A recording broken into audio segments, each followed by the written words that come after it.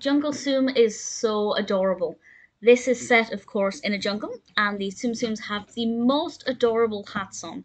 They are wearing little safari hats. Mickey, in particular, looks ridiculously cute.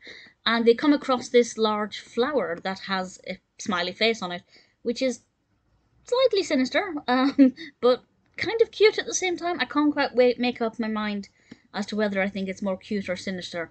But it's certainly very interesting and has a very interesting design. It's much larger than the Tsum Tsums and the Tsum Tsums explore the jungle a little bit and they meet some um, fly traps, which of course are going to cause a problem for little Tsum Tsums, and they have to try and work their way through the through the jungle.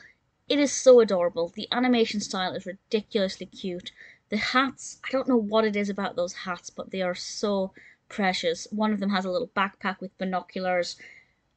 It's absolutely gorgeous and so adorable. There are not that many Tsum Tsums in it, which makes sense given the, the, the, setting. It wouldn't really work if there were more than five or six characters. I think there are four.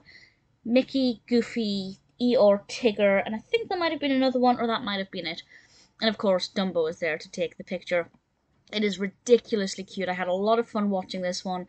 The hats are just precious. Very well animated, very creative, a lot of fun. Definitely one that I recommend you check out.